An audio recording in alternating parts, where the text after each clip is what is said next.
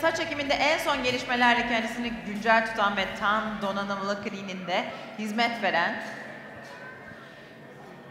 Kozmetika Klinik, Uluslararası İnovatif Saç Ekim Merkezi ödülü teslim alacak.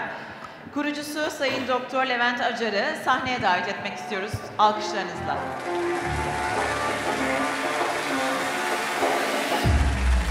Evet.